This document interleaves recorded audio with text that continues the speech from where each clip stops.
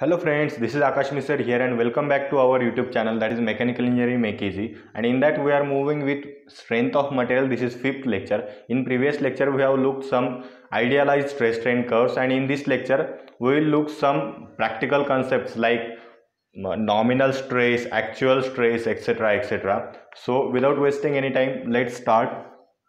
So first is nominal stress what exactly nominal stress? Nominal stress is nothing but respective load upon original cross section area. Okay what what means the respective load? Means nominal stress. For example we need to calculate nominal nominal breaking stress. We need to calculate nominal ultimate stress. We need to calculate nominal elastic stress. So ultimately that stress uh, okay for example we are calculating nominal breaking stress then the breaking load we need to take here okay. If we are going to calculate breaking stress nominal breaking stress then for that we need to take load at breaking point okay. Load at breaking point upon original cross section area okay original cross section area means what the cross section that rod was having before starting the tensile test. Okay. The, this will be original cross section area and at the breaking point obviously there will be reduced cross section area that will be likewise the necking will form etc etc that area we don't have to take while calculating nominal stress. For nominal stress we need to calculate uh, um, about the original cross section area. This is nothing but nominal stress. That is the respective load upon original cross section area. That respective load may be if nominal breaking stress then load at breaking point. Nominal uh, ultimate stress then load at ultimate point. Likewise that that parameter will vary at which point we need to take load. Okay. Then we will move towards next point. That is nothing but actual stress what is actual stress? Okay again respective load upon instantaneous area. Okay means if we need to calculate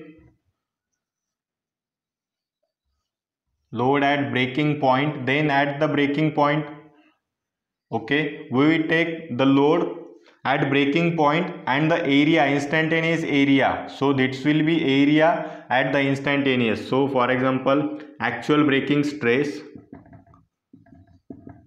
So load at breaking upon instantaneous area.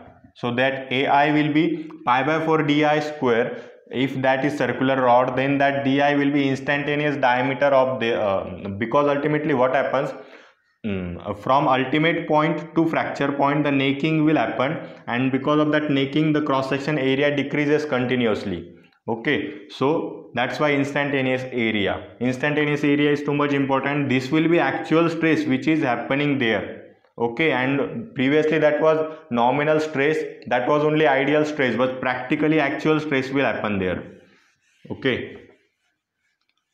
If you are not uh, getting to clear all the points then you can ask me in comment box. Then next is nothing but yield stress. Okay we have studied nominal stress actual stress now yield stress. Yield stress is nothing but yield load upon original cross section area. Okay. Yield load upon original cross section area is nothing but yield stress. What is yield load? Yield load is nothing but the load at yielding point that is load at sigma y. Okay that is nothing but yield load and sigma y is yield stress. Yield stress will be yield load upon original cross section area. Then next is ultimate stress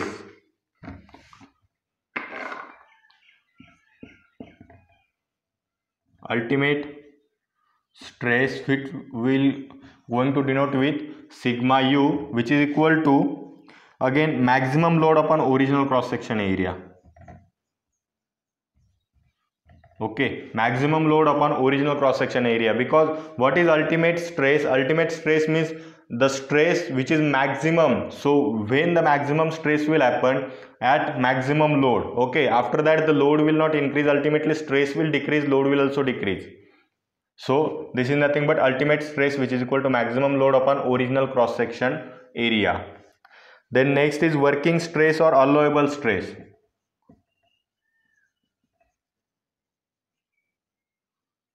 working stress or allowable stress which is equal to actual axial load upon original cross section area.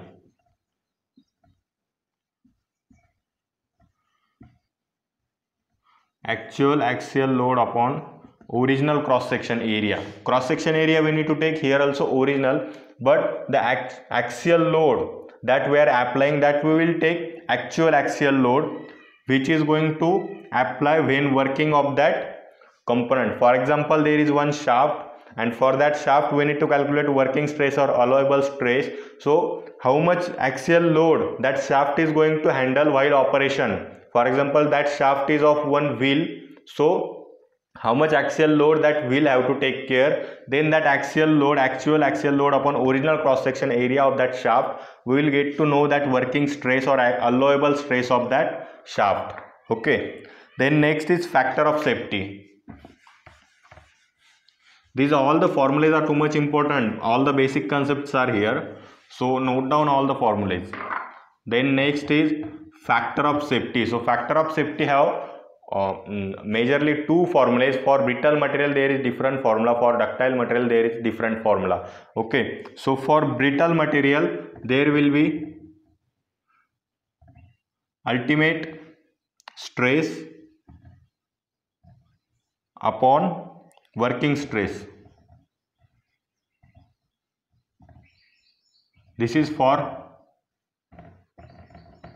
brittle material and that factor of safety will equal to yield stress upon working stress. This is for ductile material and why this formula change because in case of brittle material there is directly ultimate stress and after that the fracture stress. But in case of ductile material there is first yield stress will be there after that ultimate stress will be there and after that fracture stress will be there. And above yield stress there will be yielding will occur and because of that the uh, after the point that is yield point the plastic deformation happens. Okay. So that should not happen before that the uh, okay the working stress should be satisfied. That's why the factor of safety will be for brittle material there is ultimate stress upon working stress and for ductile material there will be yield stress upon working stress. So note down these two formulas these two formulas are too much important and depending on the material type that is ductile or brittle the formula will vary. Then next parameter is nothing but factor of safety will be greater than 1 always if factor of safety is less than 1 then what will happen? Okay then the material will fail obviously before reaching to working stress. Okay uh, you can assume value. For example the factor of safety is equal to 1 means working stress is yield stress. So up to this point this is okay. But if factor of safety is less than 1 means yield stress is 0.9 percent of working stress. Means what will happen? Because of that the working stress will be higher as compared to yield stress so material will fail there that's why the factor of safety should be greater than 1 always. And there is one another parameter that is nothing but margin of safety. That is nothing but factor of safety minus 1 what is margin of safety? Margin of safety is nothing but factor of safety minus 1 so this is also important formula that is note down this formula this concept and these two formulas of factor of safety. Okay. Then next parameter we will look that is nothing but measurement of ductility. How we are going to measure ductility that material is ductile or not and how much ductile that material is. Okay so measurement of ductility we can measure ductility with two means okay? So the first is nothing but percentage reduction in area percentage reduction in area which is equal to original area original area minus final area divided by original area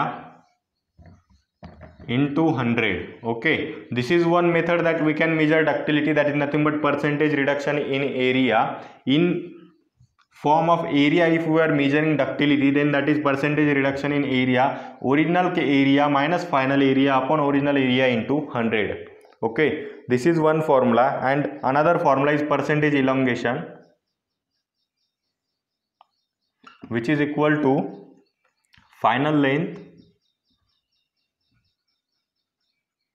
upon uh, sorry final length minus initial length initial length upon initial initial length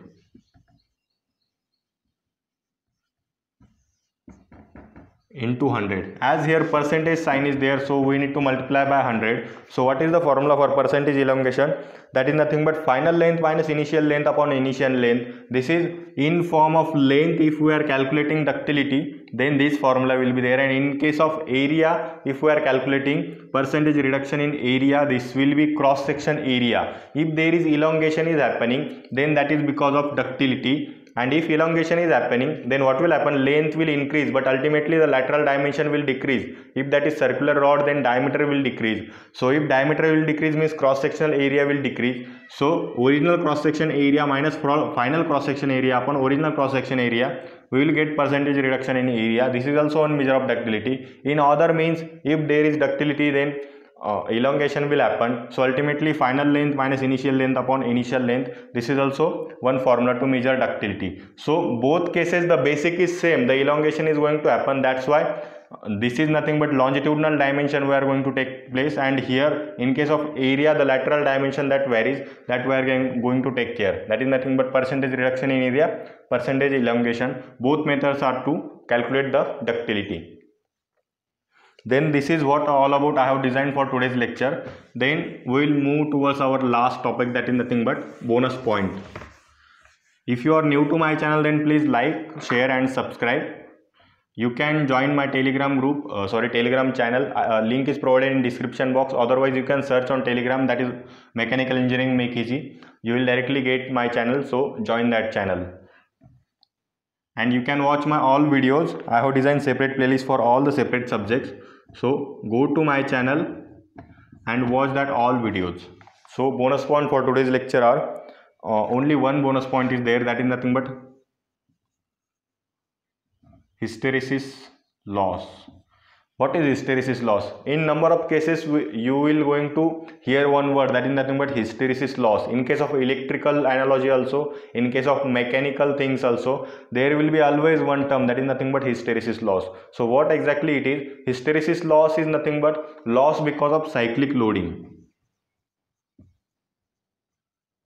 Loss because of cyclic loading okay what happens? Because of cyclic loading uh, number of times the same load will uh, uh, going to occur on the component. So ultimately because of that the loss happens and that is nothing but hysteresis loss. Okay and uh, this is what all about I have designed for today's lecture. In next lecture I will come up with some Bauschinger's effect then uh, after that the relation between true value and nominal value resilience toughness hardness etc that some properties of material. Okay. So stay tuned for that. We will meet again. Thank you friends